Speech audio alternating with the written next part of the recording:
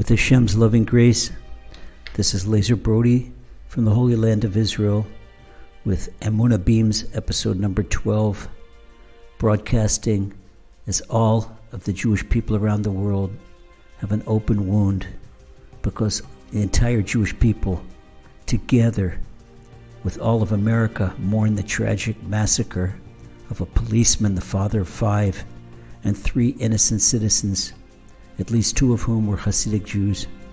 Violent anti Semites with a car full of a thousand rounds of automatic ammunition and enough explosives to do da- mega damage. Heaven forbid, they stormed a kosher supermarket in the Hasidic neighborhood of Jersey City, spraying deadly gunfire in every direction. In addition to the four martyrs, may Hashem avenge their blood. From the information we have, three other policemen were badly wounded, and so we pray that Hashem should send them a full and speedy recovery. But we have to ask ourselves a question why? No Jew could say that the Jersey City massacre doesn't affect him or her. The Gemara obligates us to engage in serious self searching whenever a fellow Jew's life is severed. So we have to stop and think. Emunah teaches us that everything is from Hashem. And the very first of the 13 principles of our faith tell us that Hashem does everything, did, does, and will do everything. So if we know that everything is from Hashem, and we add the fact that Hashem is a loving Father that does everything for the best of our purpose, then we really are behooved to ask ourselves, why did the Almighty enable something so horrific to happen in Jersey City? It's the same question that any thinking individual must ask after any terrorist onslaught. Whether it's in Jersey City or in Jerusalem or Johannesburg, it doesn't make a difference. An attack against a Jew in the United States of America is an attack against a Jew in Israel. Canada, Germany, UK, Argentina, or anywhere else on earth. Why? Because we're all guarantors of one another and we're all in the same boat. Gemara says, Kol Yisrael arevim zeh lazeh. We're all guarantors of each other. One Jew can't drill a hole in the floor of the boat and claim it doesn't affect anyone else because we're all in the same boat. And if there's a hole in the deck, we all sink together, heaven forbid, whether we like it or not. So whenever we forget that we're one, we're one people, and that every other Jew is our brother or sister, whenever we forget that and we allow ourselves the questionable luxury of bickering with one another and hating one another and destroying our unity, Hashem sends a Hitler or a Haman or a Saddam Hussein to remind us that we're all one people. These anti Semitic tyrants and terrorists, they have one characteristic in common that stands out. They hate every single Jew. You know something? It sounds sadistic, but in that respect, they're egalitarian. They don't discern between religious and non religious, Zionists and non Zionists, Orthodox, conservative, reform, Sfardim, Ashkenazim, black Jews or white Jews. Uh uh Before they fire a rocket or pull a trigger, they don't ask if the target is a baal tshuva or a Gaborner, or a Jew that was born in a program. They don't ask if he's a Litvak or a Chassid. They don't care what color kippah he's wearing. And if they don't care whether a woman is covers her hair or not, and if she does cover her hair, whether it's with a, a shaitel or tichel, they don't care. You know why? Because the tyrants burn all the Jews together in the same gas chamber and crematorium, heaven forbid. So, look what's going on. The divine presence, if we only had spiritual awareness, we could hear the divine presence crying out to us and saying, My senseless children, if you die together, why don't you learn to live together? And as much tears as we're shedding about Jersey City and our brother and sister that got killed there, Hashem is shedding many more tears than we are because they're his beloved children. And the bullets of Jersey City on Tuesday, December 10th, 2019, they didn't differentiate either between one Jew and another. Our sages, they teach us that the angels of destruction cannot harm a hair on a Jewish head until one Jew harms another Jew, whether verbally or physically, doesn't matter.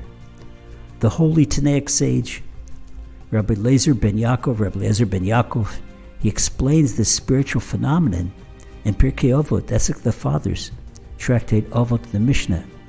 He says that every transgression of Torah creates an evil angel. In other words, a negative spiritual force that comes down and manifests itself in Hamas or Hezbollah or a neo Nazi or some other violent anti Semite terrorist. You know what that means?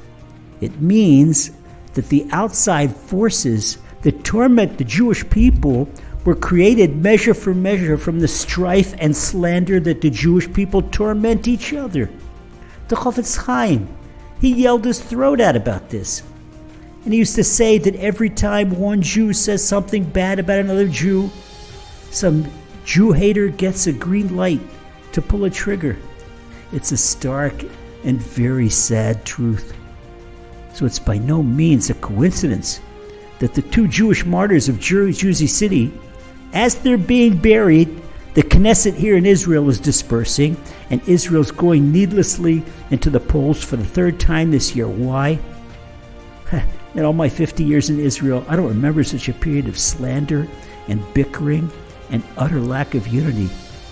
Intramural Jewish hatred, it's just as much as going on abroad as it is in Israel, and it's erupting like a once dormant volcano.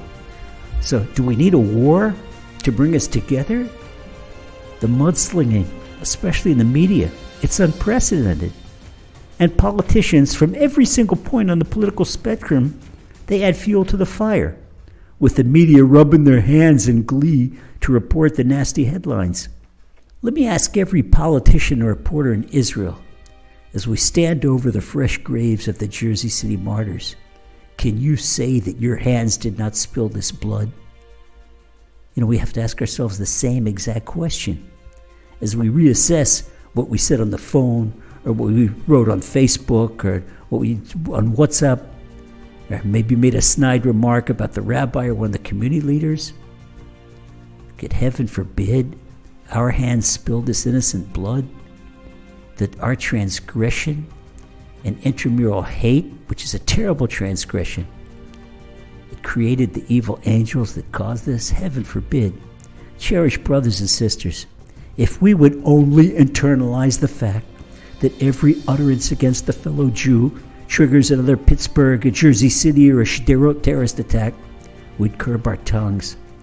The more intramural hate continues, the more knives and bullets morph into ballistic missiles, heaven forbid.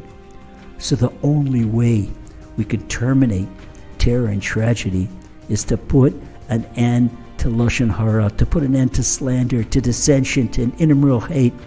Disagreements are fine as long as you love and respect the Jew that you disagree with. That's an outright, unconditional command of Torah. Love your neighbors yourself. People don't realize that insulting one's fellow human is a lot worse than many other serious transgressions. Because if a person transgresses against Hashem, it's relatively easy to do tshuva. But he transgresses against a fellow man. The gates of tshuva are locked until he apologizes and placates a fellow man. And this is not something we're just dreaming up, something nice. It's in the laws of, of Yom Kippur. From this moment on, if we cannot say something complimentary about a fellow Jew, then let's not say it at all, because we can no longer afford the luxury of intramural hate. It's taking too many lives. It's enough. So let's do something in honor of the sacred memories of the Jersey City martyrs. Let's start loving each other. And if we can't love each other, let's at least do our very best to avoid any trace of slander and evil speech and to curb our tongues whenever something not especially complimentary is on it. So try and ask Hashem to help us, help us care about each other, help us be concerned with one another, Help us do chesed, do loving kindness for one another. And may God bless, help us succeed. Amen.